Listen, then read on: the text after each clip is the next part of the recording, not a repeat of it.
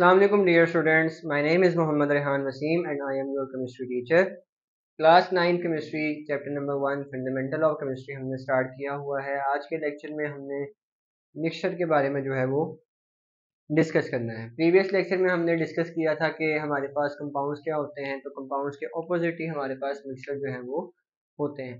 तो अगर हम कंपाउंड की बात करें तो उसमें हम एलिमेंट्स को कंबाइन करते हैं एक फिक्स रेशो बाय मैस जिस तरह अगर कार्बन डाइऑक्साइड या वाटर की बात करते हैं तो कार्बन डाइऑक्साइड में थ्री रेशो एट या ट्वेल्व रेशो थर्टी टू के साथ आप कार्बन और ऑक्सीजन को मिलाकर जो है वो कंपाउंड बनाते हैं कार्बन डाइऑक्साइड तो वाटर में वन रेशो एट के साथ हाइड्रोजन और ऑक्सीजन को मिलाकर हम कंपाउंड बना रहे थे वाटर का।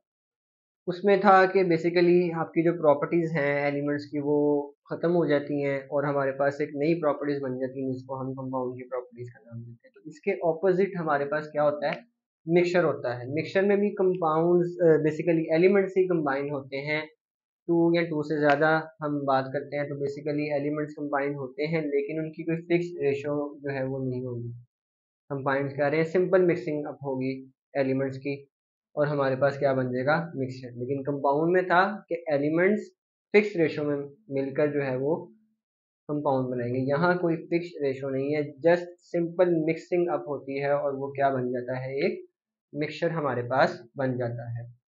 अब इसके बाद अगर हम प्रॉपर्टीज़ के ऊपर आते हैं तो जब एलिमेंट्स सिंगुलर फॉर्म में एग्जिस्ट कर रहे हैं, उनकी अपनी प्रॉपर्टीज़ हैं केमिकल और फ़िज़िकल अब जब वो एक मिक्सचर में आ गए हैं, एक मिक्सचर कॉन्स्टिट्यूंट हो गया, जो है एक मिक्सचर बन गया तो मिक्सचर का काम क्या होता है कि उसने एलिमेंट्स की प्रॉपर्टीज़ को रिटेन रखना होता है। जो उनकी प्रॉपर्टीज़ हैं, जो कॉन्स्टिट्यूंट उसमें मिक्सचर में मौजूद हैं, उनकी प्रॉपर्टीज़ रिटेन रहती हैं, वो चेंज नहीं होती फ़िज़िकल और केमिकल प्रॉपर्टीज़ अगर आप उसकी बात कर रहे थे कंपाउंड की, उनको हम इजीली सेपरेट आउट कर सकते थे, नहीं कर सकते थे easily separate out by physical methods लेकिन मिक्सचर में हम उनको सेपरेट आउट कर सकते हैं सिंपल फ़िज़िकल मेथड से डिस्टिलेशन इवेपोरेशन और फिल्ट्रेशन आते हैं.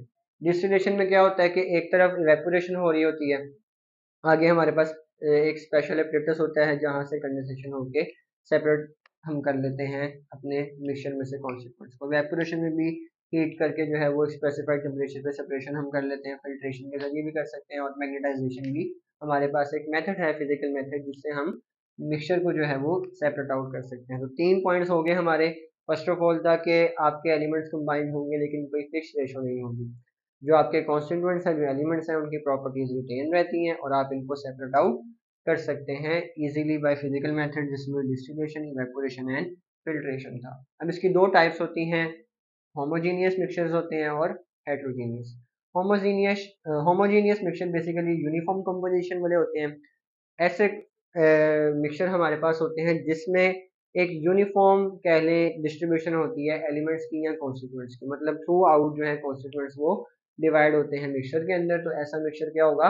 होमोजीनियस मिक्सचर एग्जांपल है एयर गैसोलीन और आइसक्रीम हेट्रोजीनियस की अगर हम इसके अगेंस्ट बात करें तो उनमें यूनिफॉर्म कंपोजिशन नहीं होती। मीन्स जो आपके कॉन्स्टिट्यूंट्स हैं, जो आपके एलिमेंट्स हैं, वो इवनली या प्रॉपरली डिस्ट्रीब्यूट नहीं होते सिस्टम के अंदर मिक्सचर के अंदर। तो आपका ऐसा मिक्सचर क्या होता है? हेट्रोजीनियस मिक्सचर और इसके एग्ज़ाम्पल में सॉइल रॉक और वुड आता है। ये आपका एक आज का टॉपिक था। मिक्सचर छोटा सा टॉपिक है। और ये शॉर्ट क्वेश्चन वगैरह में आपसे पूछा जा सकता है। इस टॉपिक से रिलेटेड अगर आपका कोई क्वेश्चन है तो कमेंट सेक्शन में लाजमी पूछिएगा। जजाकल्ला अल्लाह हाफिज़।